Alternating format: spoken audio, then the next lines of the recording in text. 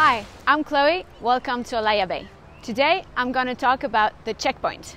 When you come for a surf at the bay, it's really important that you maximize your wave count. Like everybody else, you want to catch as many waves as possible. You also want that count to be fair among surfers. The general safety rule states that after a fall, the surfer needs to go alongside the wall ride the wild water in prone position and make his way back to the channel. To ensure equity among surfers, we introduced some flow rules.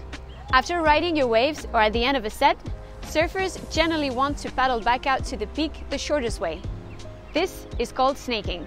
The new flow rule is the following.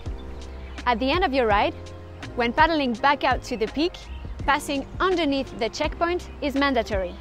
If you don't pass underneath the checkpoint, You'll have to go at the back of the queue and you'll become the last surfer in line.